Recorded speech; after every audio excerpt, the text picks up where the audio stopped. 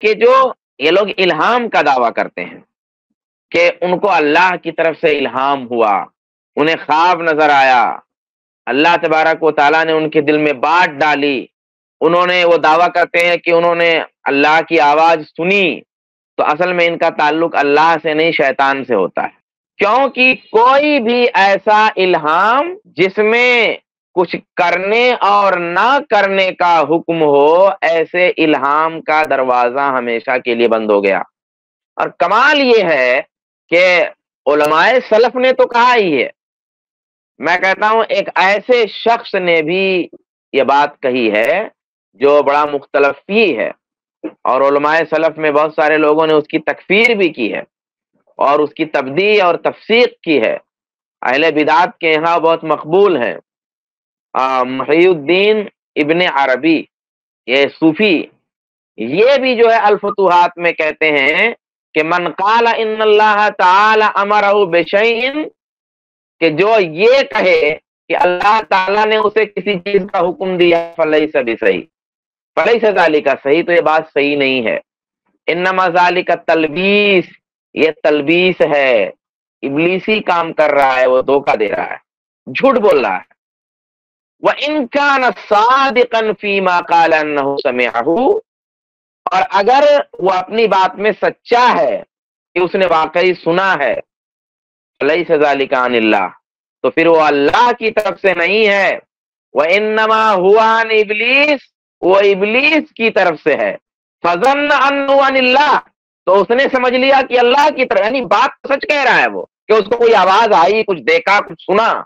ये बात कहने में अगर सच्चा है तो तो इबलीस की तरफ़ से, वो अल्लाह की तरफ़ से नहीं, क्योंकि इबलीस ऐसा फील करा सकता है, ऐसा माहौल उसके दिमाग में डाल सकता है कि वो अर्श और कुर्सी का ख्याल उसके दिमाग में आए और उसको लगे कि वहाँ से मुझे खिताब किया जा रहा है। ऐसा धोखा ये उलमाए सलफ नहीं, ये हम अहले हदीस लोग नहीं, ये वो शख्स कह रहा है जो एक मुख्तलफ शख्सियत है, मुहिद्दीन इबन अरबी, जिसकी तकफीर और तफसीक भी की गई है।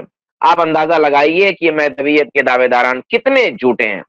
इसी तरीके से जो मैदवियत का या नबूत का दावा करें, इन लोगों की पिछली ज़िंदगी भी देखनी चाहिए। एक आम आलिम है, एक आम रहनुमा है तो ठीक है, वो पिछली ज़िंदगी खराब थी, अभी अच्छा हो गया। यहाँ ठीक है। लेकिन जब कोई मैदवियत का दावा करे नबूत का दावा करे, खास तौर पे नबूत का, और आम तौर पे जितने मैदी के दावेदारान होते हैं, वो नबूत को जरा जरा मिक्स करने की कोशिश करते हैं।